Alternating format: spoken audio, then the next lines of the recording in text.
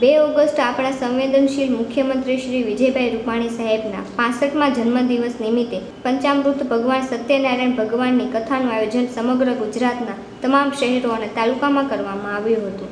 જેમાં સિહોર નગરપાલિકા ખાતે શ્રી સત્યનારાયણ ભગવાનની કથાનું આયોજન કરવામાં આવ્યું હતું. તેમજ નગરપાલિકાના પાસઠમાં જોખમી કામ કરતા લોકોનો પ્રધાનમંત્રી જીવન બીમા યોજનાનો લાભ અપાયો હતો માં કહ્યું કે રણજીતજી તમારે કેમ શું થયું ધન લઈ લેવાની ઈચ્છા છે કે શું અમારે નૌકામાં તો રેલા અને પાંદડા છે.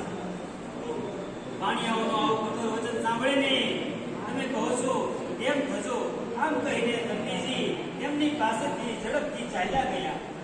અને દૂર નદીના કિનારે જઈને પાણીનો છે સત્યદેવની સ્તુતિ કરવા લાગ્યા સાધુ વાણિયા બોલ્યો છે કે હે પ્રભુ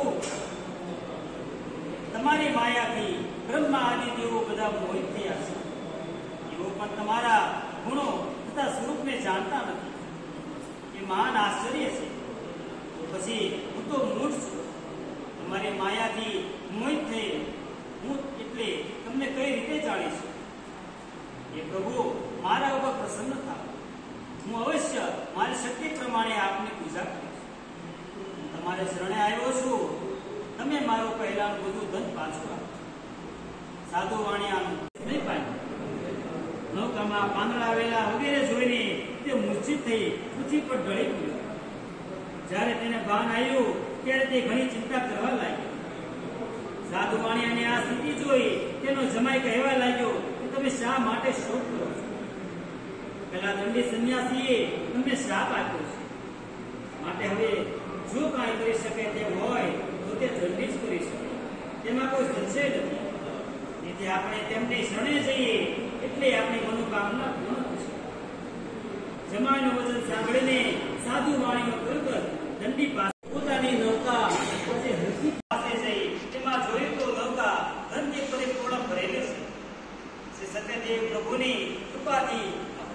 ઈચ્છા પૂરી થઈ છે. એમ કહી સાધુ વાણિયાએ સ્વજનો સાથે વિધિ પ્રમાણે પ્રભુનું પૂજન કર્યું છે. સત્યદેવને આજે આ સાધુ વાણિયાને ખૂબ જ આનંદ થયો છે ત્યાર પછી ત્યારે કેટલા સત્ય ઈશ્વર કહ્યું છે. કોઈ સત્યનારાયણ કહે છે, કોઈ સત્યદેવ કહે છે. એ જ પ્રભુ અનેક જાતના રૂપ ધરી બધાને મનમાં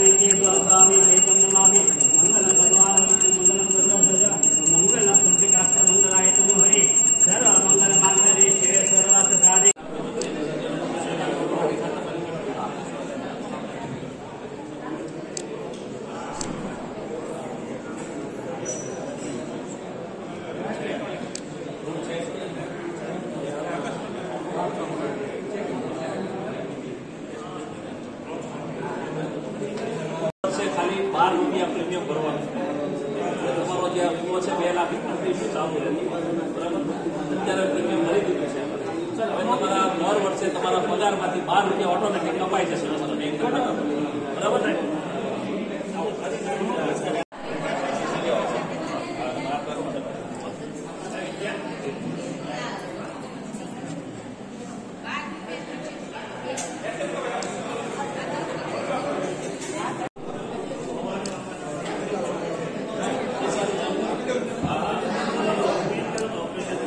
માનની સંવેદનશીલ મુખ્યમંત્રી વિજયભાઈ રૂપાણીના પાસઠમાં જન્મદિવસ નિમિત્તે સમગ્ર રાજ્યની અંદર વિવેકાનંદ કેન્દ્ર દ્વારા, વિવેકાનંદ યુવક મંડળ દ્વારા વિવિધ પ્રવૃત્તિ કરવામાં આવી હતી. સમગ્ર ભાવનગર જિલ્લાની અંદર સત્યનારાયણ ભગવાનની કથા દ્વારા આપણા વિકાસશીલ મુખ્યમંત્રીને દીર્ઘ આયુષ્ય મળે તે માટે સિહોરની અંદર નગરપાલિકાના સહયોગથી અહીંયા કથાનું, સત્યનારાયણ ભગવાનની કથાનું આયોજન કરવામાં આવ્યું હતું. સિહોરના નગરપાલિકાના પ્રમુખ, ઉપપ્રમુખ સિહોરના મુખ્ય આગેવાનો દ્વારા આ કથાનું શ્રવણ કરવામાં આવ્યું હતું અને સૌ કાર્યકર્તાઓએ વિજયભાઈનો દીર્ઘ આયુષ મળે, તંદુરસ્તી સારી રહે એ માટે પ્રાર્થના કરી હતી.